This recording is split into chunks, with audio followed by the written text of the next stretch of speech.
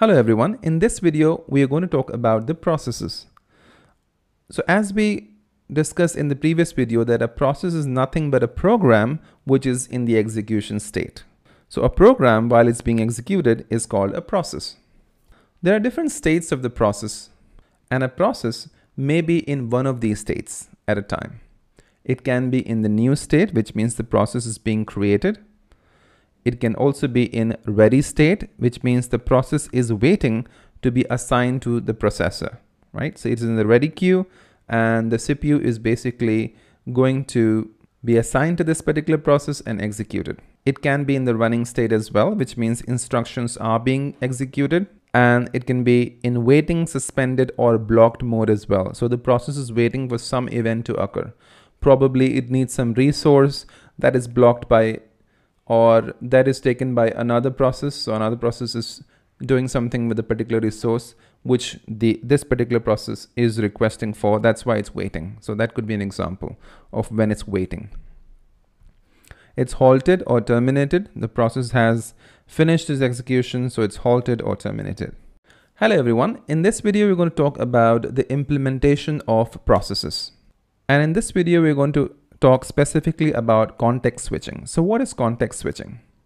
So context switching is basically the switching of the CPU from one process to another process. Let's say there's a process that is being executed. So in context switching, when an interrupt occurs, the CPU is assigned to the process that caused the interrupt. And once the process is completed, the CPU is reassigned back to the previous process. So let me give you an example. Let's say there are two processes, process A and process B. Initially, they are in the ready queue. Now, let's say that CPU gets assigned to process A and the process A starts executing, right? You can see that it's executing here. Let's say the process B causes an interrupt. So interrupt occurs over here and basically process B wants to execute.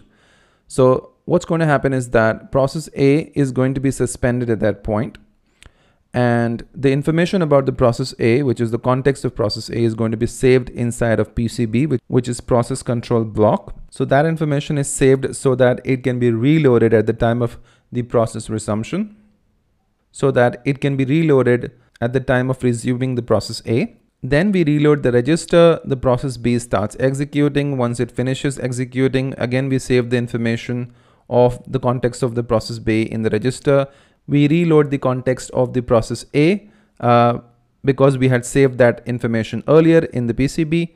And once it's reloaded, we know where it needs to be executed from. So it needs to be resumed from and it starts executing again. So that's basically the context switching, which means in simple words, uh, one while one process is executing, an interrupt occurs, uh, the CPU is switched from one process to another. Okay, and in the meanwhile, uh, we also save the context of the processes so that uh, we can resume them when we want to. Process B has finished executing. So, okay, now we're going to talk about what are threads.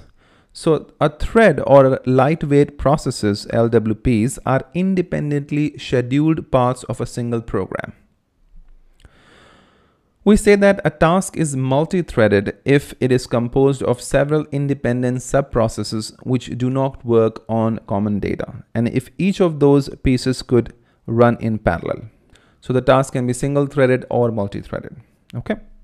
Now you can take a look at this example. Let's say you have this hard disk and there's a program inside of that and this program includes these instructions, a set of instructions. As you all know that a program is a set of instructions and when the program is instantiated inside of the RAM, random access memory, so this is your process. So we have, let's say inside of RAM, we have multiple processes, process one, process two, up to process M.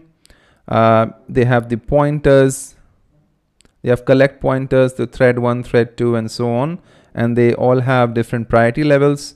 This is where the context switching happens from one process to another. CPU is assigned to uh, from one process to another. Uh, this is the preemption. Preemption is basically acquiring a resource from one process to another. Okay.